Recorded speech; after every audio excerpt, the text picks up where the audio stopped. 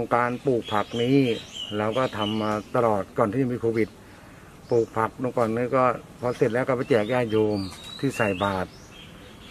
เราใส่บาตรแล้วก็มีไข่เมื่อก่อนเลี้ยงไข่ไก่ก็เอาไข่ไปแจกญาติโยม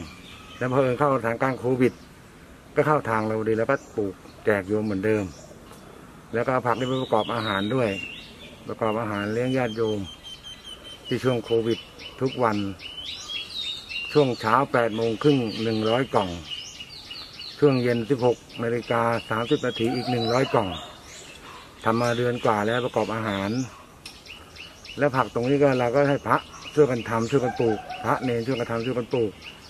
เมื่อผลผลิตได้แล้วก็เก็บไปแจกญาติโยมพื้นที่นี่ก็ประมาณสองงานก็จะไม่มีก็มีผักบุ้งจีน มีผักคะน้ามีผักกาด มะเขือ แตงกวาที่เคยปลูก แล้วเก็บไปแจกญาติโยมแล้วก็เปลี่ยนพืชใหม่